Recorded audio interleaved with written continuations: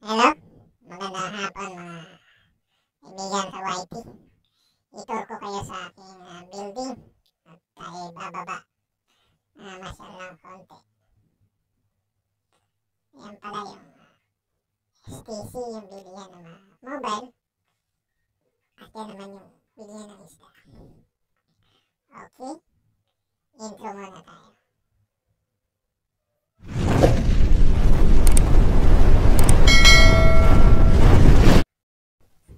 Ito na tayo sa baba ng aking building.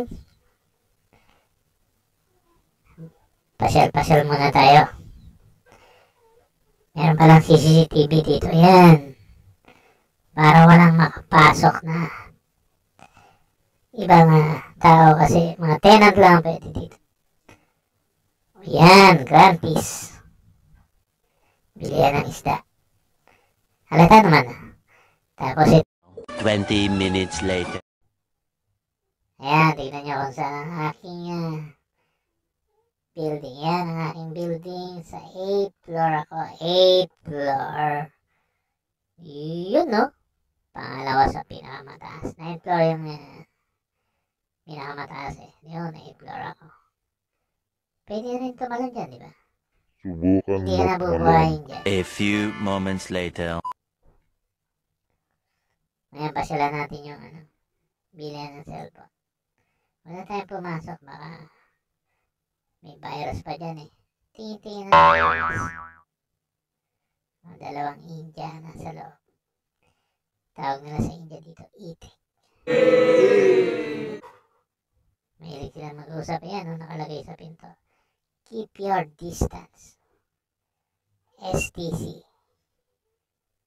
Ah, lipat naman tayo sa Grand Feast. Grand Feast. Ito na ako, Grand Feast. Tingnan natin, medyo hindi maganda ang isda ngayon pagka taglamig.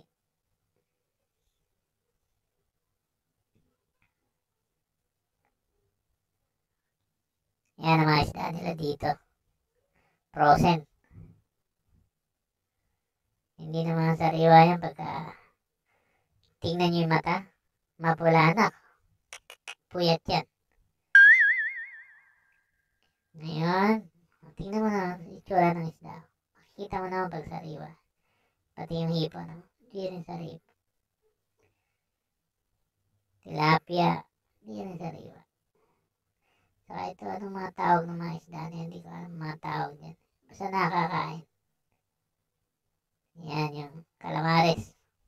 Mali ka, giant squid yun. Maganda ata Friday, Thursday ng gabi ata ang sariwa ng mga isda. Ito naman. Hindi ko alam pangalan. Ah, dito tayo tanigi. Mm, ulo, pwede mo bilhin yung ulo. Mas mura yung ulo. Yung sigang mo ulo. Per kilo, makakabili ka dito. Tanigi. Labas na tayo. Pinakita ko lang naman sa inyo.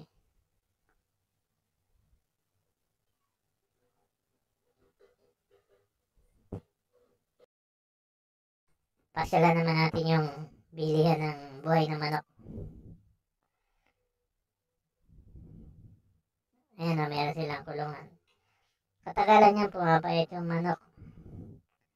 Pero siyempre, yung atmosphere niya, maliit ang kulungan, kulang sa patuka. Kaya yan. Mahal din ang English, niyan English ka pa bro, kung tayo pong nalalaman. Titimbangin niya ng buhay. Tapos yun, pagka binigay sa'yo, wala nang mga laman loob. Wala nang isang kilo.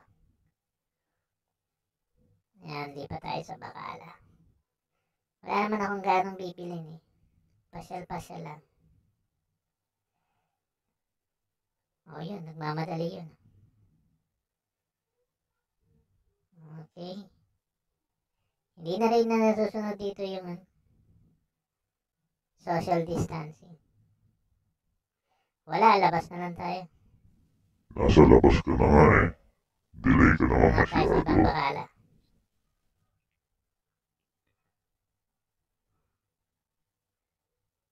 Malapit lang naman ang mga bilihan dito. Magkakatabi lang. Konting lakad lang. Andun ka na. Meanwhile, Wala ang street namin, Block 4, Street 23, Mangga. Okay. Hindi ko naman tinatanong bro. eh. Lapit na tayo sa isang bakala. Yan, mga uwi na yung mga tatrabaho sa restaurant. Pasok tayo.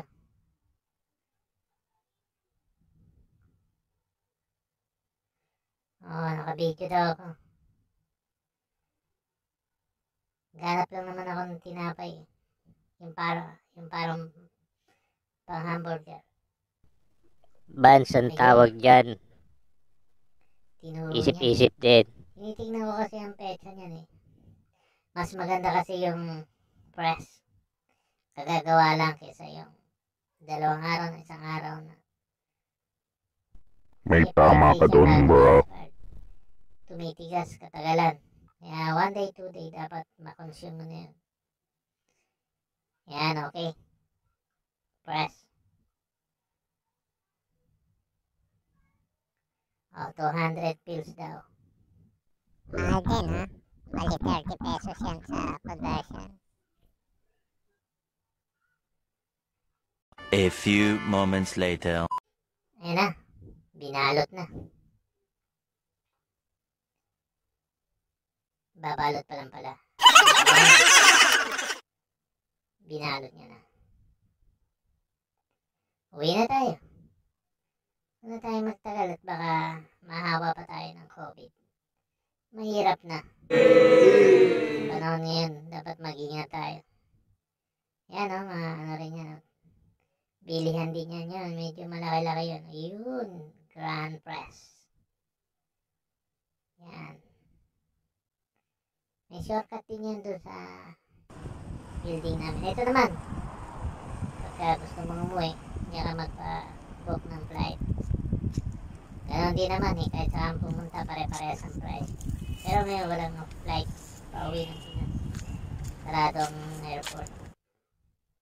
Oo. Ito, kinorkat ko na. Dito na tayo. Akyat na ako ng hagdan. Okay.